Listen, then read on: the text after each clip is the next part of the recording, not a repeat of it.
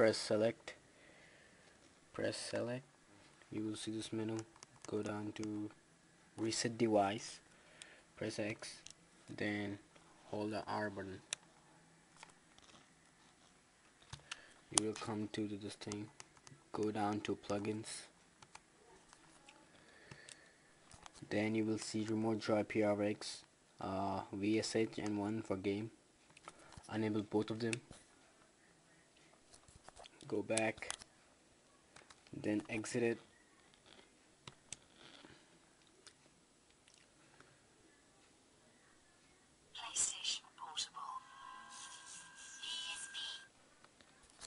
Now what you need to do is get a USB cable.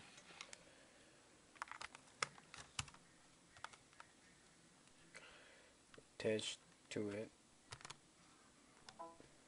Now now the now it's gonna come up then open this thing. Hold on let me make it big. Open this thing. Says Mojoy Light. And this should come up. You see in here?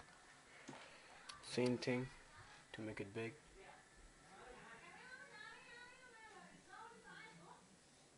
just double click at the bar. Whole screen is of it so you see this? So it's pretty good. You can go online over here. I play games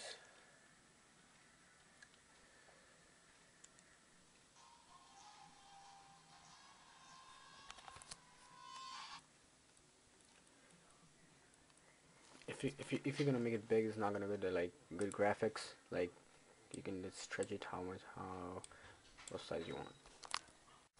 Uh, so that's all about it. Um, just make sure to comment and rate. Alright, thanks for watching.